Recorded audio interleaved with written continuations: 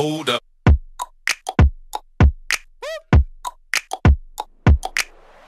welcome back guys to my channel. In this video i'm going to show you how to find sum of a even number and odd number within range. So let's get started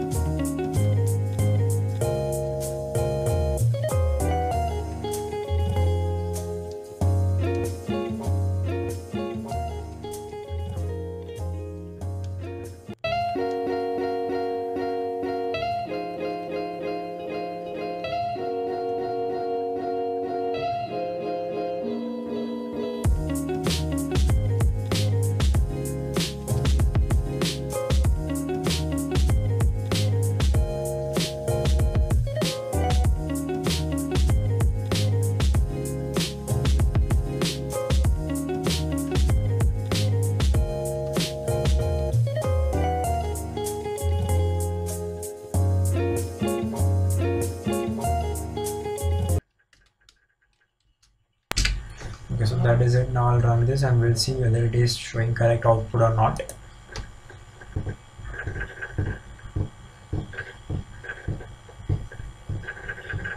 So it is asking to enter a number like if i enter 10 so it is showing sum of even number as 30 and sum of odd number is 25 okay so that is it for today guys. I hope you enjoyed this video. And if you have read it please subscribe to my channel. And i'll be back with another video like this. Thank you